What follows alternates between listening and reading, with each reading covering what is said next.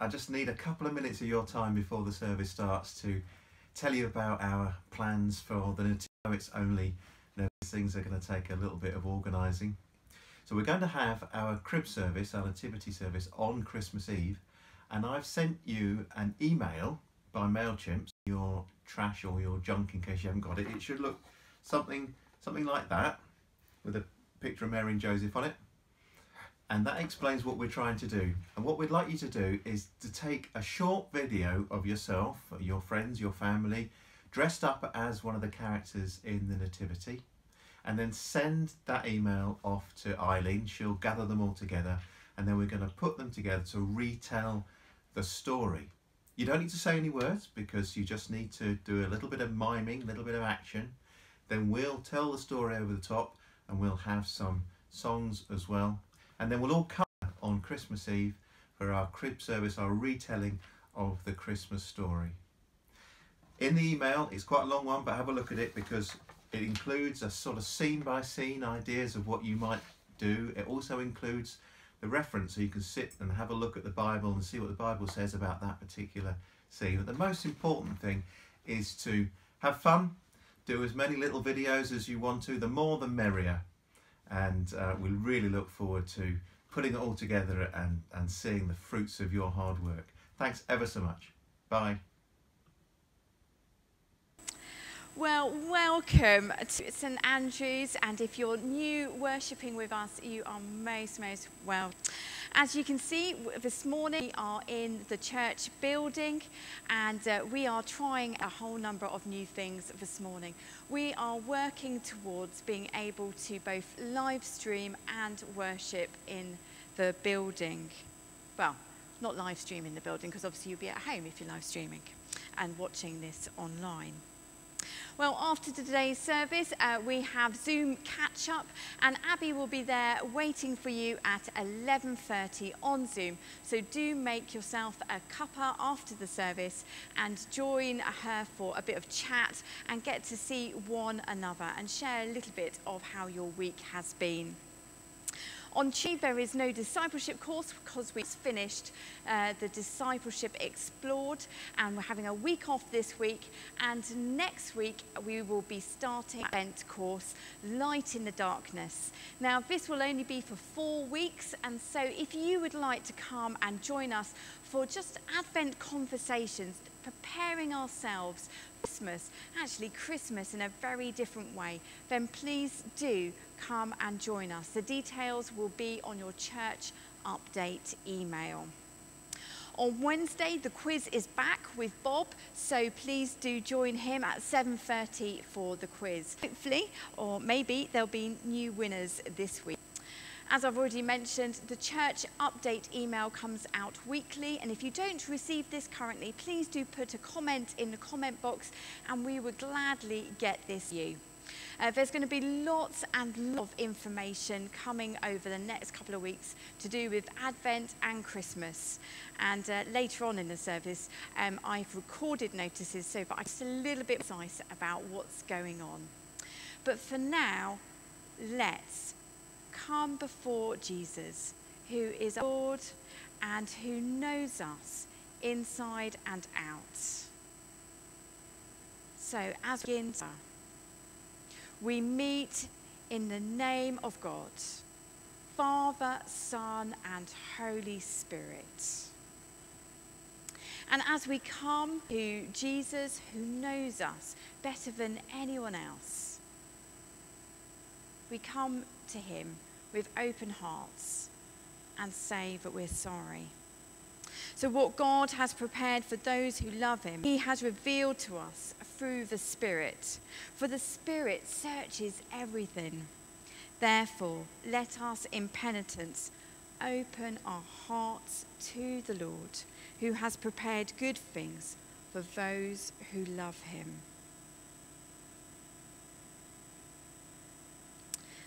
So let's pray together. Lord God, we have sinned against, we have done evil in your sight. We are sorry and repent. Have mercy on us according to your love. Wash away our wrongdoing and cleanse us from our sin.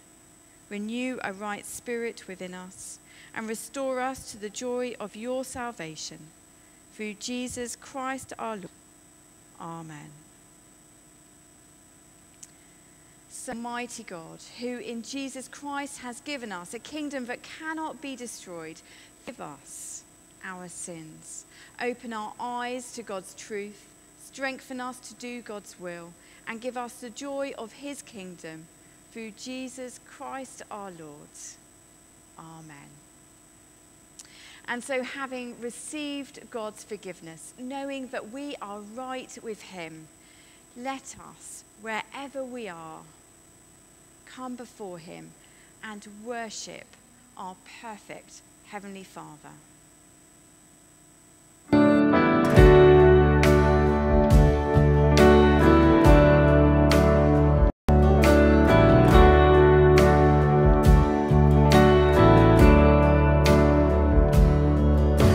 Amazing grace, how sweet the sound that saved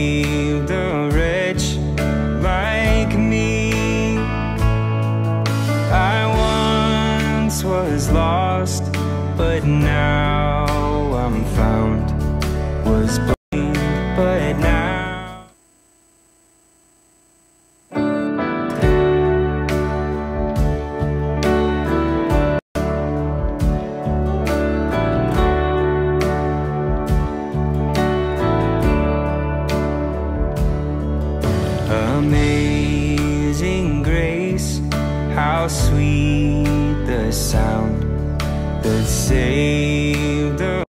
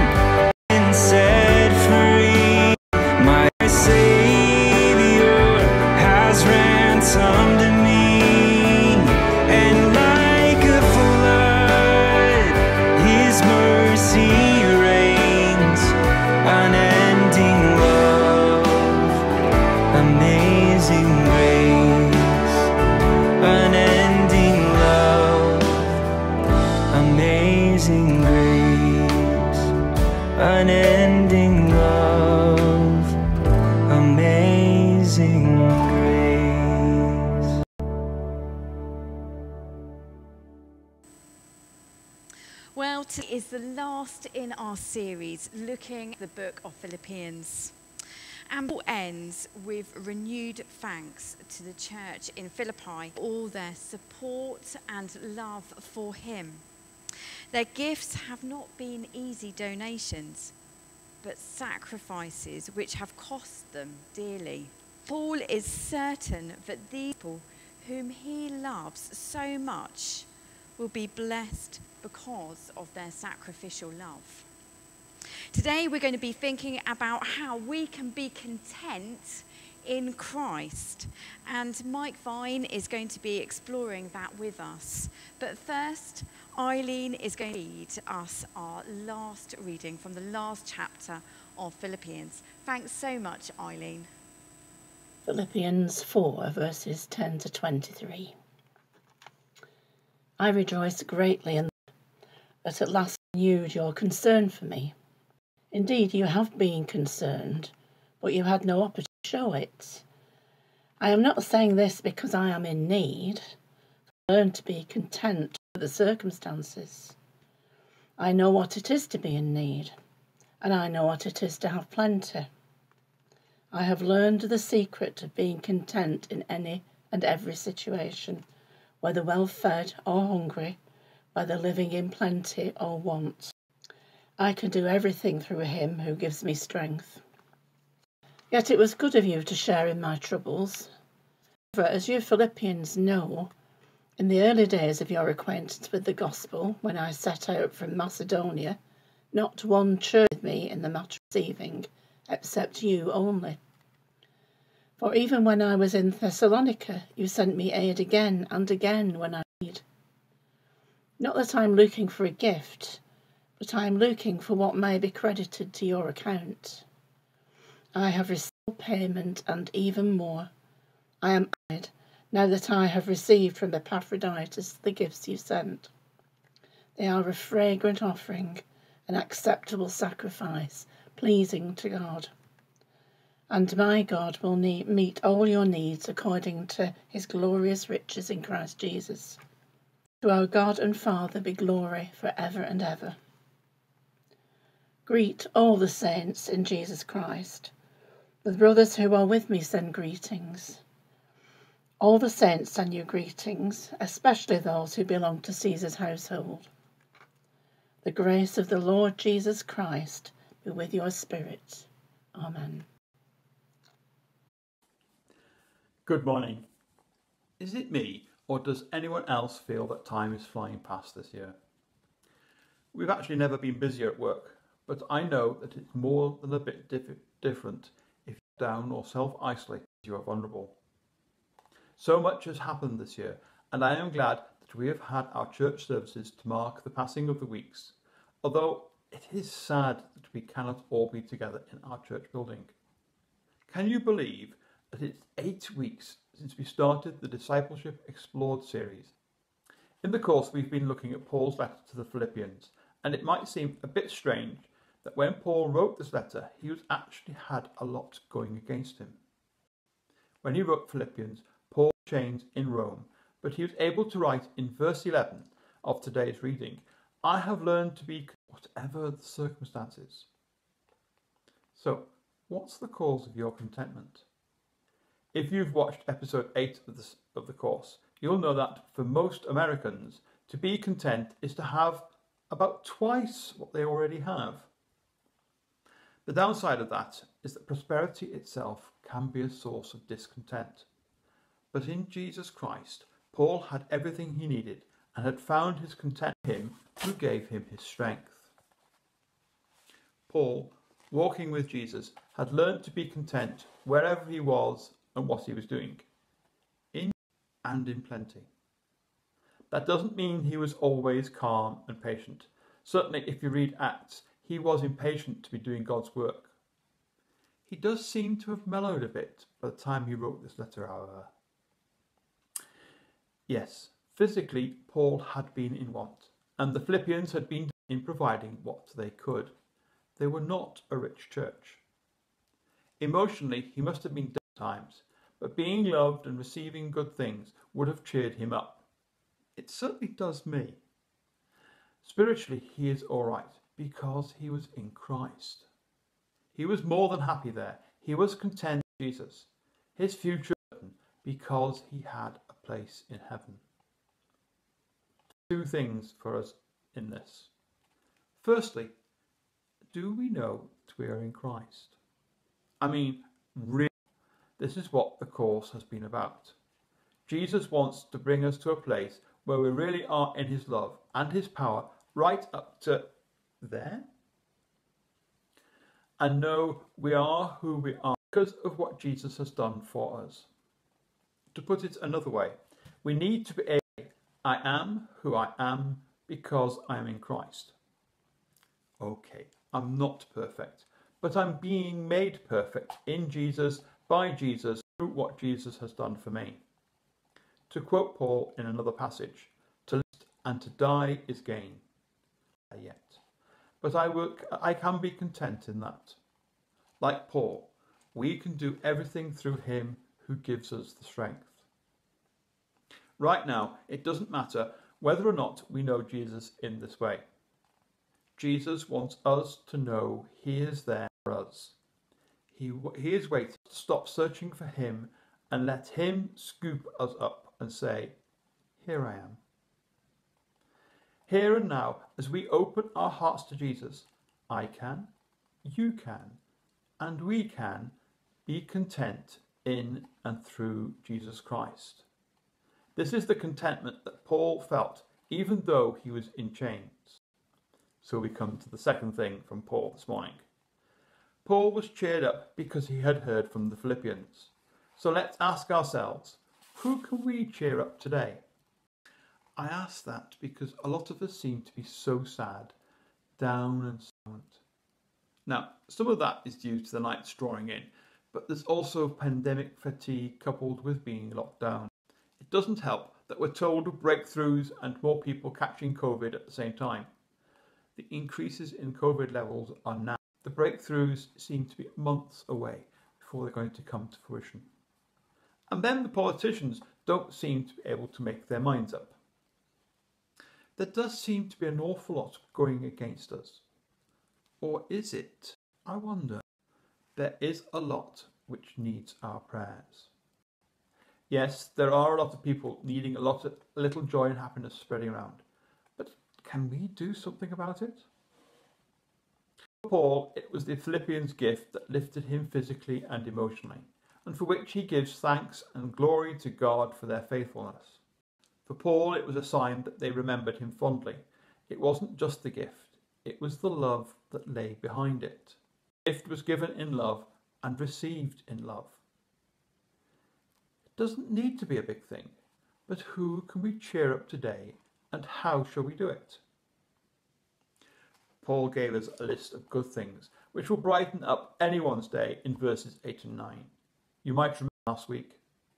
Whatever is good, whatever is true, whatever is noble, what's right, whatever is pure, what's lovely, whatever is admirable.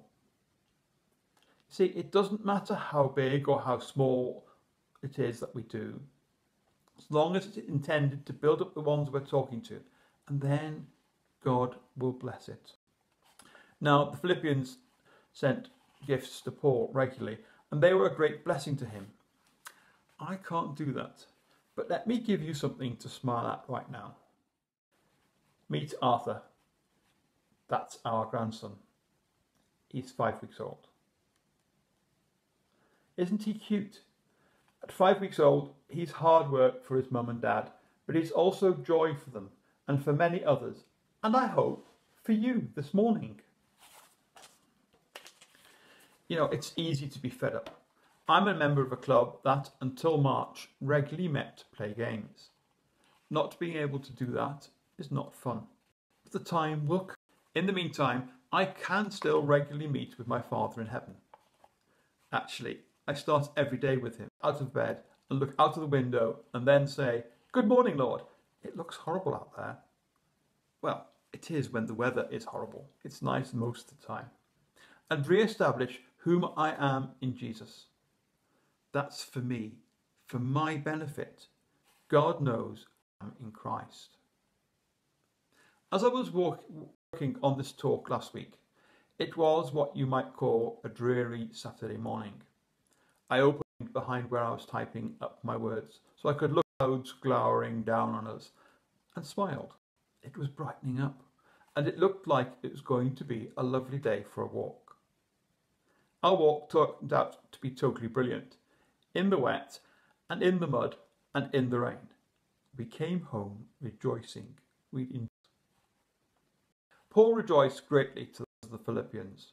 He knew their foibles and their failings, and he mentions them in the letter, but he also knew that they were in Christ, listed in the book of life, and demonstrating that showing their concern for him.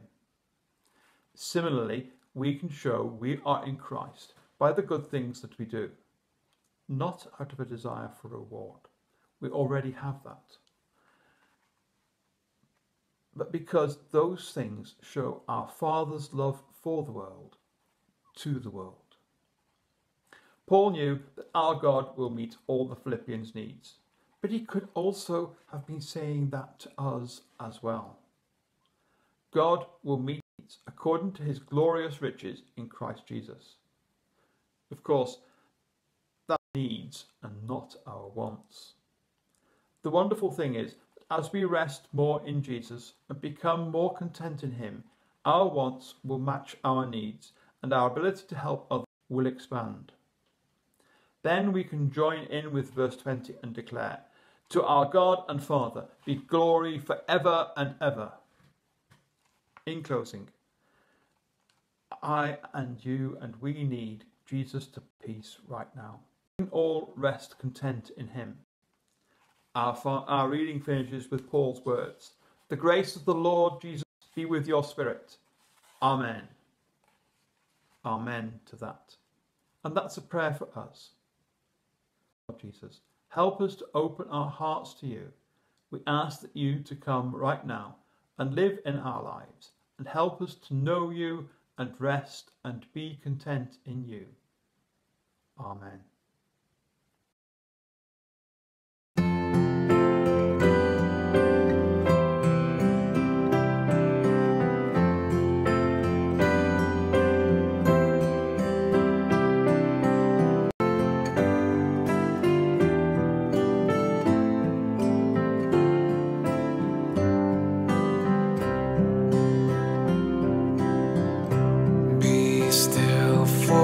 Presence of the Lord.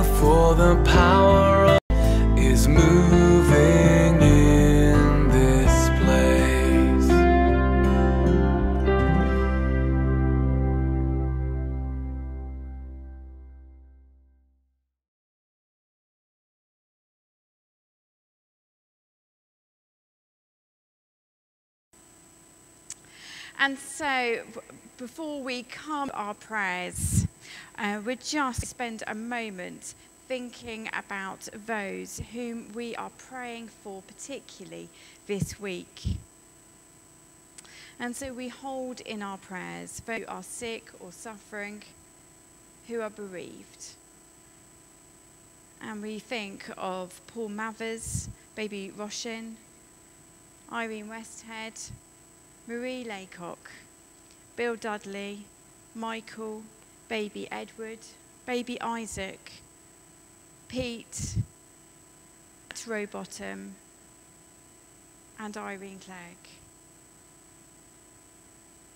In terms of the bereaved, we pray, continue to pray for the Smithy family, for the Latham Holt family, and for the family of Linda. And so Joyce is going to lead us in our prayers of vision. And when we come to the time where we pray for those who are sick or suffering, those that are known to us, let's hold those people, those families in God's hands. Faithful and loving God, we pray for the governments of our world and for leaders nationally and locally, and ask that in these troubled and confusing times you raise up your people into places of power. That be strong in leadership, just, wise, honest, and consistent in all they do. Lord, in your mercy, hear our prayers. We pray for our communities throughout the UK and particularly here in Radcliffe and at St Andrews. For local businesses, our schools, playgroup, our friends and neighbours. Pray for our children and families. Keep them all away from harm. May our homes be places of love and safety. Lord, in your mercy, hear our prayers. We pray for your church at St Andrews for all the different encouragement groups. May we be loving and supportive of each other. We pray for Jo as she continues to lead us in faithfulness and commitment, and for the teams of people working here. We ask you to allow your people here to be beacons of hope, compassion, and strength, and by our lives be like your Son Jesus, drawing others to you. Lord, in your mercy, hear our prayers. We pray for those known to us who are sick and in need of your healing touch, for those who are in despair, fragile, or broken-hearted, for those who hurt emotionally, who cry out silent prayers, for those who grieve and mourn the loss of a loved one who can never be filled. We pray for those too broken or discouraged to pray for themselves. And we lift before you those who have not even the strength to lift. For Father, we know you are a, a God of miracles, of hope, of kindness, God of compassion, a God who does not remain hidden, but us and knows our needs. In the silence, Father, we lift the names to you of those known who need that special touch from you today and trust that you will meet them where they are.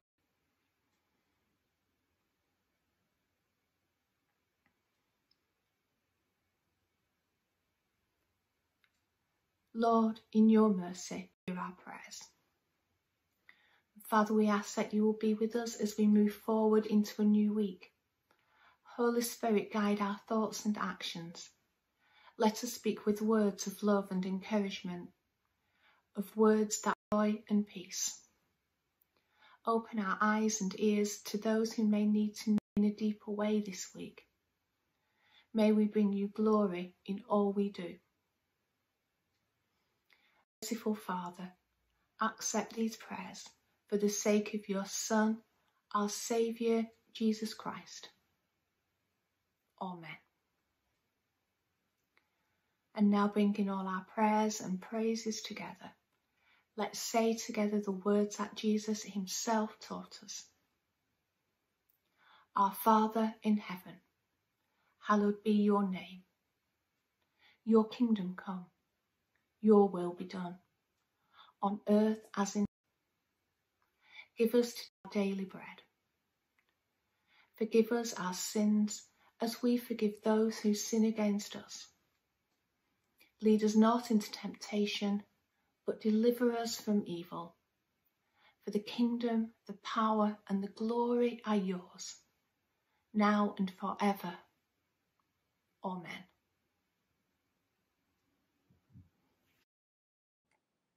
And so we've come to a few Please do keep your eye on the church update email. Uh, over the next couple of weeks, we will be communicating a little we'll be doing over Advent and Christmas. It's also a way of communicating news to you. Uh, this Christmas, we are having a Christmas gift donation. This will be towards purchasing live streaming equipment for the St Andrews building. Over the past couple of weeks, we've been able to broadcast from the building, but currently it's a little untidy and we need more equipment to combine online broadcasting and having people in the building. So during Advent, up to Christmas Day, we shall be having opportunity to give a financial gift to church. Donations can be made through Facebook, check, or a bank transfer. And if you write a check or do a bank transfer, please put Christmas gift um, as a reference so that we know uh, that it's for the Christmas gift donation.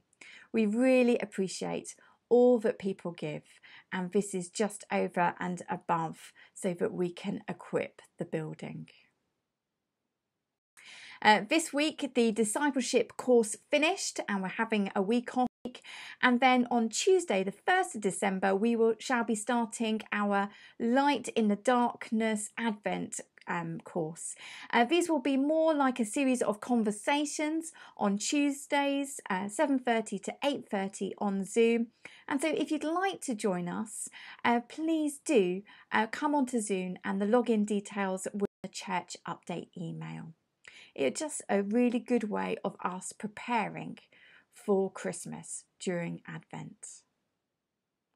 Well, next Sunday we will be having our toy, toy donation, and you can bring your new toys to St Andrew's Building on the 29th of November, 11:30 till 1. Um, on the church update email is a list of donations that you can bring, and there are also some donations that you can make to CAP too. Over the next couple of weeks, we're going to need your help to prepare for our Christmas services. And firstly, we're asking you for pictures of you with the word joy and your photos and your videos to St Andrew's Grapevine at outlook.com or to WhatsApp with the number that is attached. We are also preparing for a nativity play, and so um, sent out this week via Mailchimp with some more um, information about uh, pre-recording for that. If you'd like to know more information, please do get in touch with Bob uh, post should be coming your way. Uh, this week, we're going to be sending you a little something through the post, and uh, you'll be getting 40 inviting you to light these each Thursday at tea time pm and put them in your window and pray for the NH and those working on a vaccine, praying for a glimmer of hope, something that we'll do as a church family.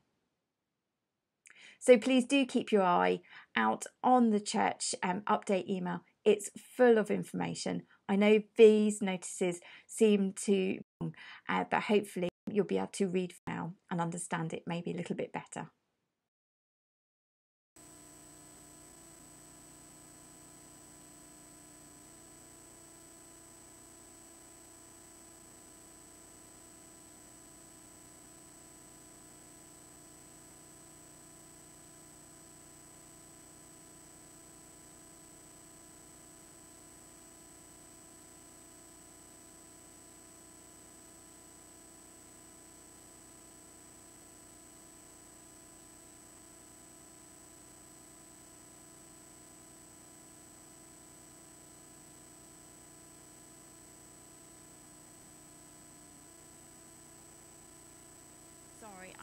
Forgotten to turn my microphone back on, so apologies for that.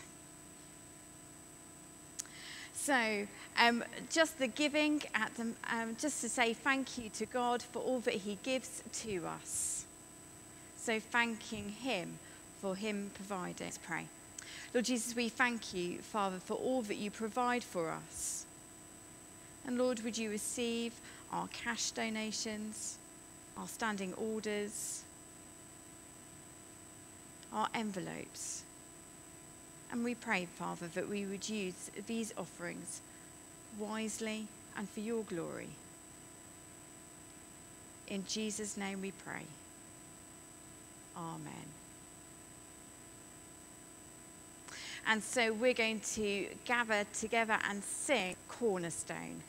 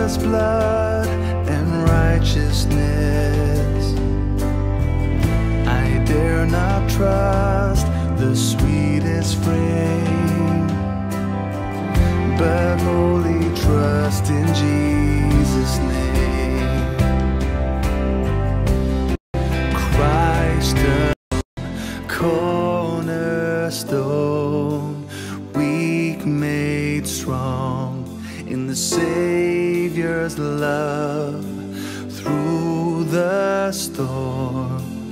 He is Lord, Lord